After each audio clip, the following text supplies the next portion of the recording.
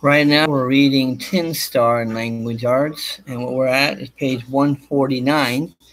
And in this particular part of the book, we know that Luke has been able to get a little bit of refreshment. He uh, met that family and they fed him, and he got a horse from them. He got some other stuff. But he's been riding along, and he suddenly finds himself encountering two new men. And that's where we're at in 149. They kind of surprised him by saying, Come on, here we are. Who are you? And we have hello. It's 149. He forced himself to sit still and not reach for a six shooter. The ease with which the uh, one had drawn, with the accuracy of his marksmanship, warned Luke how close he was to dying, and he wasn't anywhere near as fast as Jackrabbit. For one of them, the man on the right fixed a steely gaze on Luke. Are you, you one of them? And demanding an answer, I'm not sure what you mean, who you mean, but if you intend to throw down on me if I answer wrong, let me set your mind at ease. I'm not one of them whoever that is. He smiled disarmingly. The men exchanged looks, then laughed. Wouldn't matter none if you was a lawman. You ain't you outlaw you out hunting for the right ring-tailed varmint? Luke realized then that the men were bounty hunters. They were bounty hunters. They had bounty hunters are people that have they're like independently working to capture certain outlaws. They go get them, and they bring them in for the reward.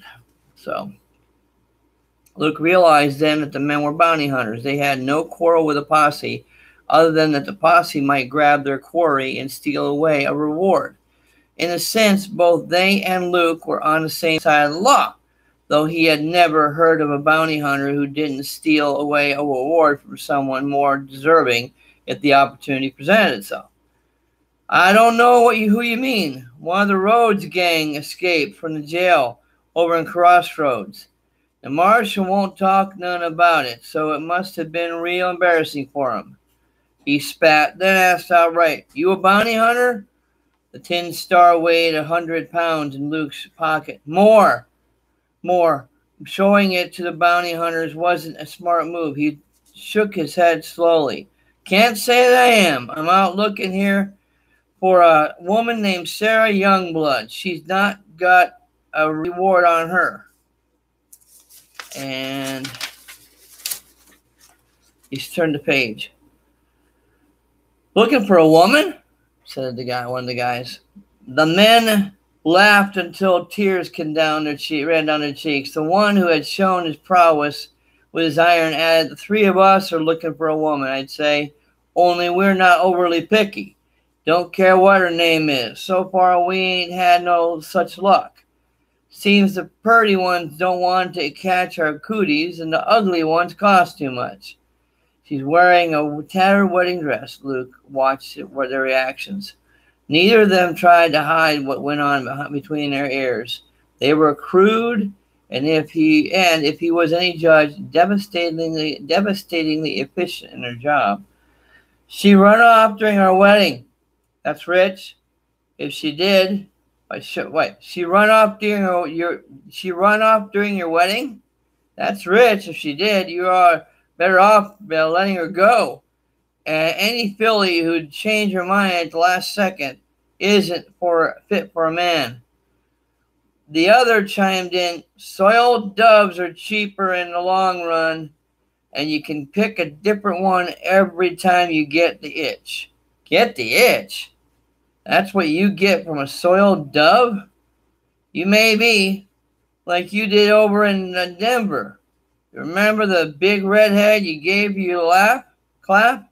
I was lucky you just got first dibs. The senorita I had has more than I could handle, almost. Luke held his tongue. The two argued endlessly over anything and everything. When they finally ran down and took turned back to him, he realized he had to get away from them. If you gents don't mind, I have to be on my way. That's your horse? The one pointed. Both laughed. Hey, don't laugh. It'll hurt his feelings. Luke patted the horse's neck. The huge animal leaned into him and almost knocked him over. You're definitely not a bounty hunter. No self respecting vigilante rides a nag like that. Luke nodded and gave what he hoped was an agreeable, agreeable smile. Don't you go insulting our new friend, Zeke. Don't go using that tone with me, Deke.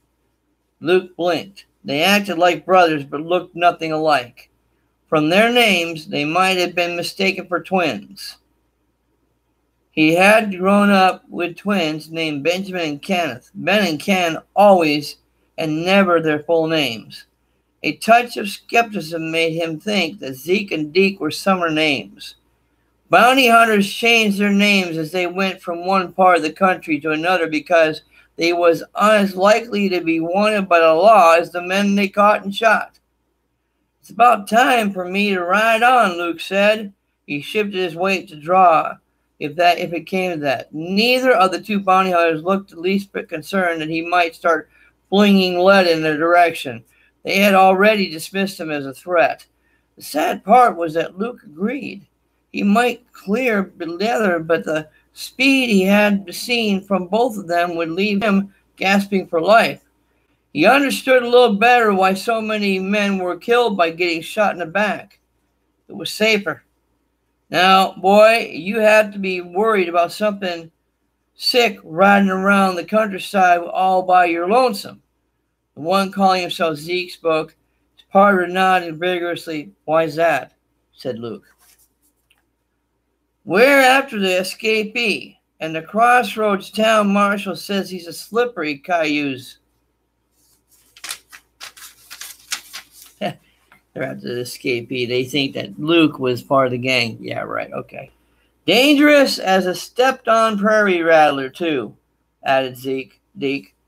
The two might be looking to rob him, but all they would get would be his gun and boots. The few coins he had left in his pockets hardly enough to shot a whiskey, and neither of them would think to rip open the gold dust laden seams on his coat, as bad as it was. They had already passed judgment on the plow horse, and Luke had to agree. That horse wasn't worth leading to the glue factory. I appreciate your concern, fellows, but I haven't been seeing anyone out here this escape conflict isn't going to be a bother.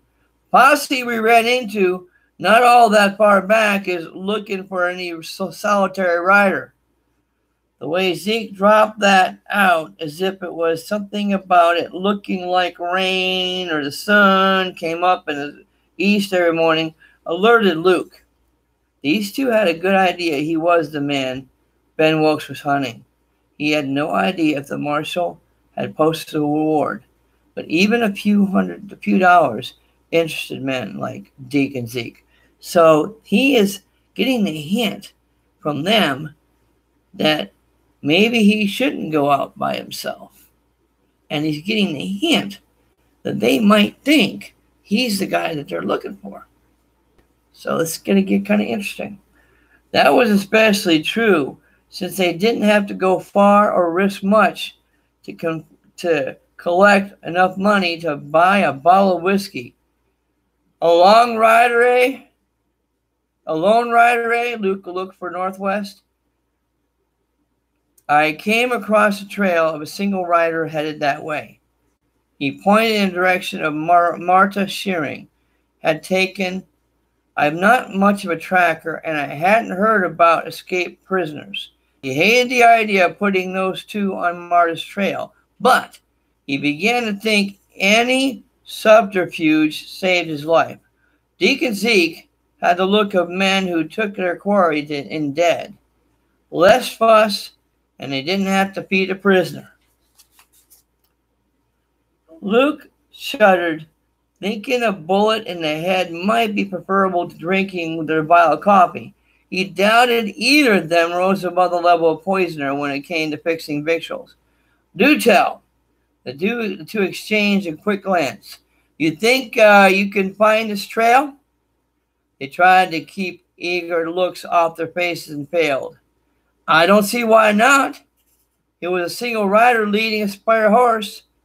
This caught their attention. Two horses, one rider, two horses. He continued. All that meant to me was someone with more money than sense. Or if they can afford two horses to ride that, they're in a powerful hurry. Luke fell silent and left the men whisper back and forth. Zeke pointed once in his direction, with the lure of two decent horses to steal rather than a sway back plow horse, decided the argument. There, three of us riding all to get along together, it'll be more than any escapee would want to tangle with. That is, if you'll throw in with us. He wanted to find out more about where the bounty hunters had run into the posse. Three men riding along attracted no attention at all from a posse, not like it would if it were rode alone. He patted the horse's neck. Pardon. Outrunning a posse meant leaving the horse behind and trying to outdistance them on foot. For a day or two, that is, if we can split any reward, Luke had no interest in rewards, but he saw that the pair expected such a protest. They haggled a bit, then arguing that their tracking skills their more, a final split of 20% to Luke, and the rest split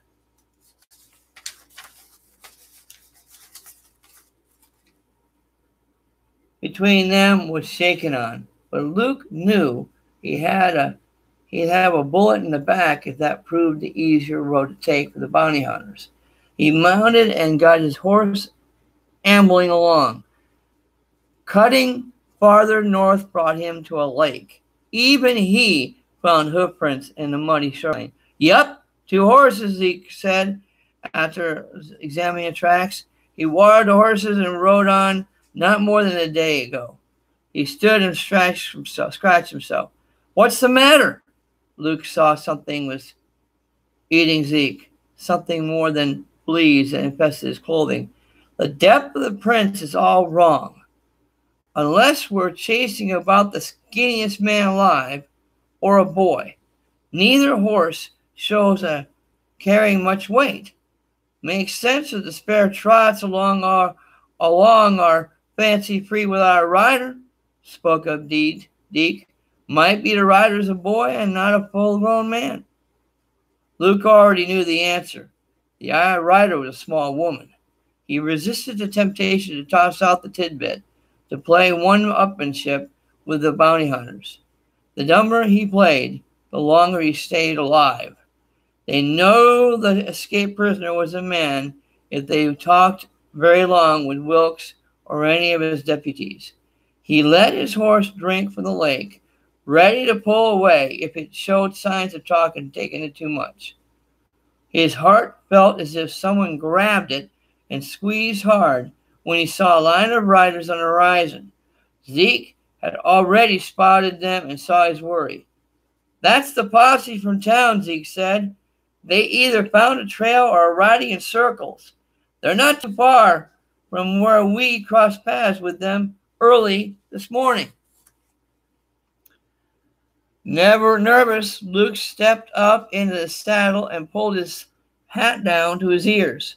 Then he slumped forward to give the impression of a shorter man riding with the other two.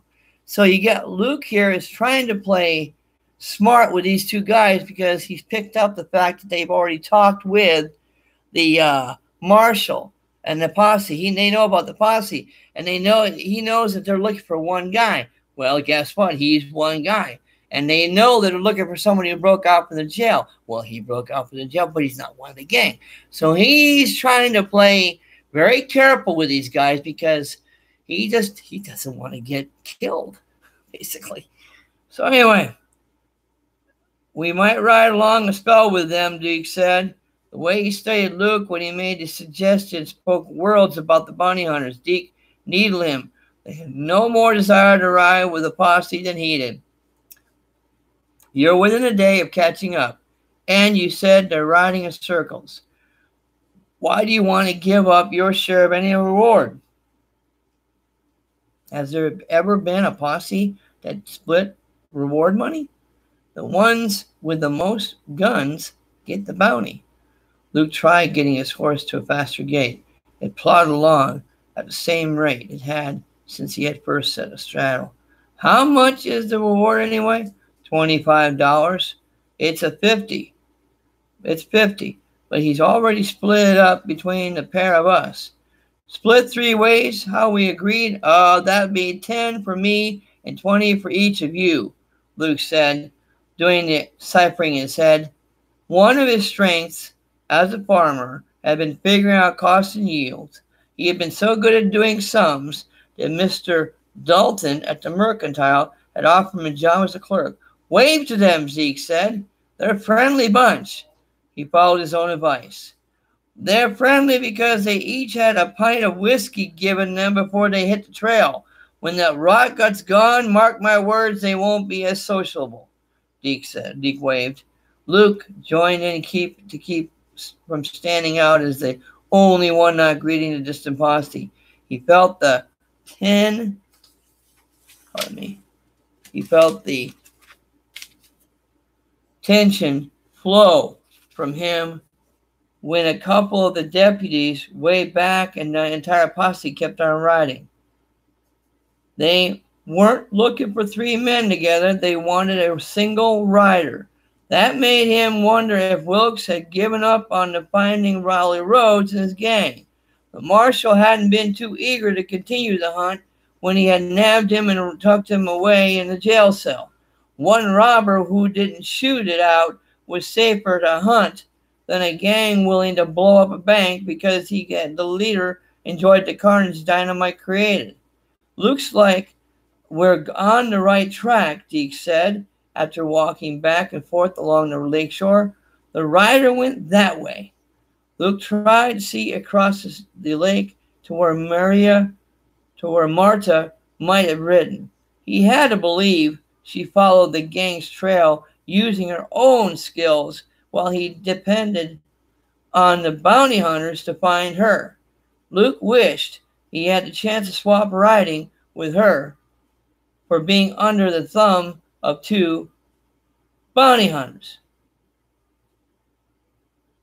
They, they mounted and started around the lake.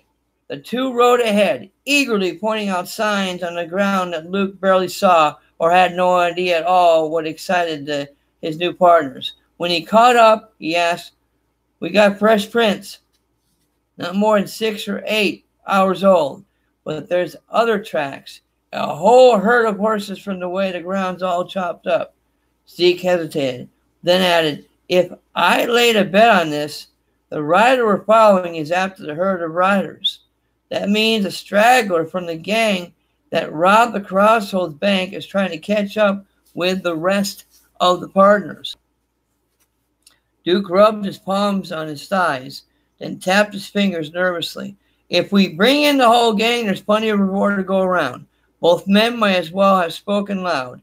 Luke knew what they really thought. Kill the bank robbers, keep the gold stolen from the Crossroads Bank. That amounted to a whole lot more money than a reward, even for notorious outlaws. While they may not gun down the crooks, take the stolen gold and try to collect a reward from the dead bodies.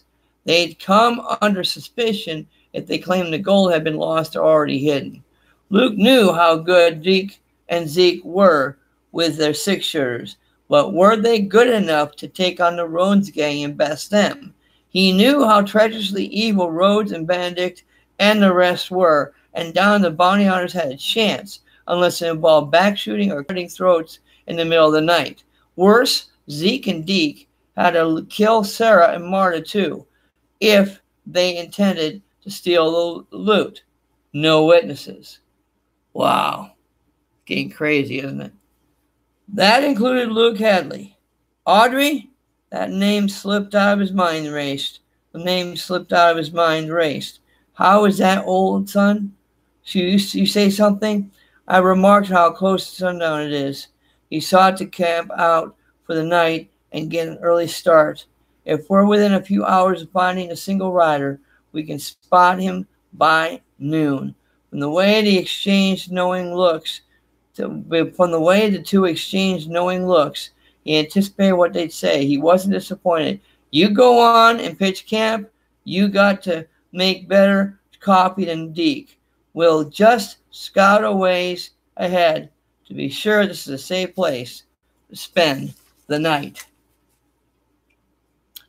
Yeah, safe. Well, I'm going to stop it right here. We're on page 158. And as you can see, they're following Marta's trail. And Luke's not saying a word about who that she's a woman because they're, they're after a guy. They think they're at they might they think there might be on the trail of a guy who broke out of the Crossroads jail. He Luke knows it's Marta, but that's not important right now because right now Marta's chasing the gang, and Luke is trying to make sure they don't know him. He's the one that broke out of the jail, and what he wants them to do is follow that trail with the hopes that he can get her to be the one that. Well, they I don't know if he wants to catch up with her. He wants to catch up with the gang. So he's keeping mum right now so he doesn't find himself shot by them. So a little more tension, a little more questions, a little more what is next. We're on page 158 now. I guess we'll find out next time what happens next. Talk to you later.